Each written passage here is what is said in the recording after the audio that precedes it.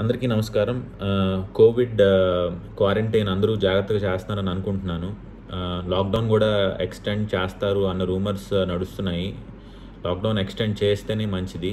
అందరూ కూడా గవర్నమెంట్ చెప్పినట్టు విని లాక్డౌన్లో ఉండి వాళ్ళ హెల్త్ జాగ్రత్తగా కాపాడుకుంటే మంచిది.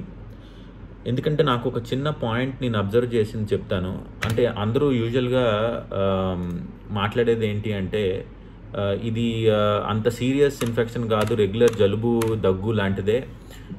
సో మోస్ట్ ఆఫ్ దెమ్కి ఏం కాదు లేకపోతే యంగ్స్టర్స్కి ఏం కాదు లేకపోతే ముసలాళ్ళకి మాత్రమే ఎఫెక్ట్ అవుతుంది అంటా చెప్తా ఉన్నారు. సో సో చాలామంది దీన్ని లైట్గా తీసుకుని రోడ్ల మీద తిరగటం అవన్నీ జరుగుతున్నాయి.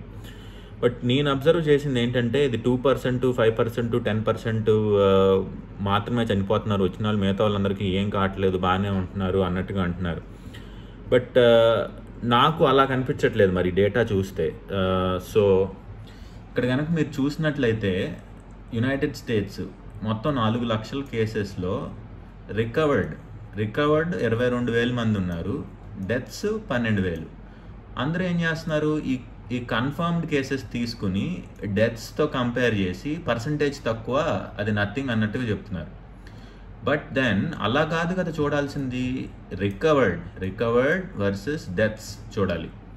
సో ఇక్కడ ట్వంటీ టూ థౌజండ్ మంది ఆ పాజిటివ్ నుంచి నెగిటివ్ అయిపోయారు తగ్గిపోయింది వాళ్ళకి. బట్ ట్వెల్వ్ థౌజండ్ మంది చనిపోయారు.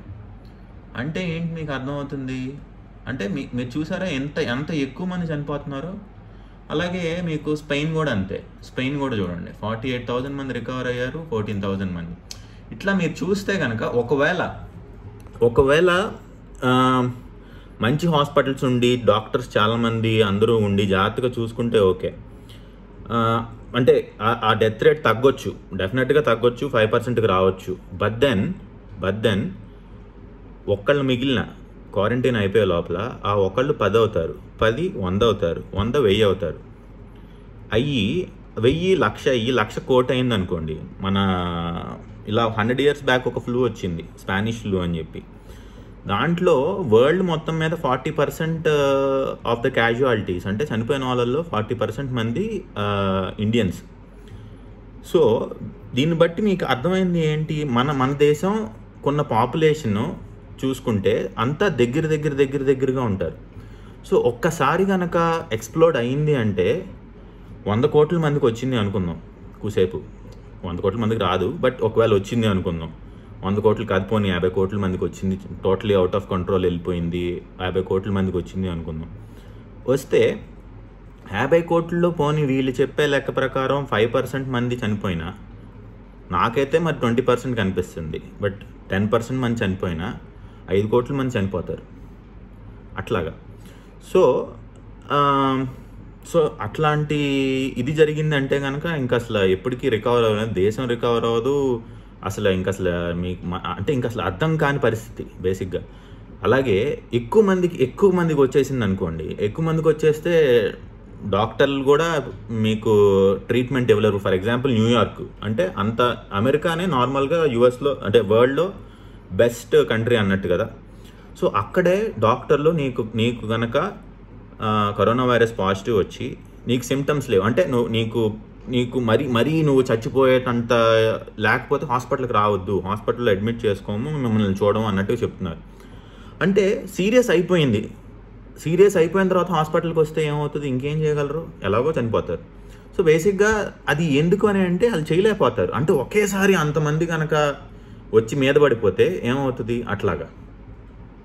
సో సో ఈ దీన్ని బట్టి మీరు అర్థం చేసుకోవాల్సింది ఏంటి అంటే కరోనా వైరస్ అనేది చాలా చాలా చాలా సీరియస్ ఇష్యూ.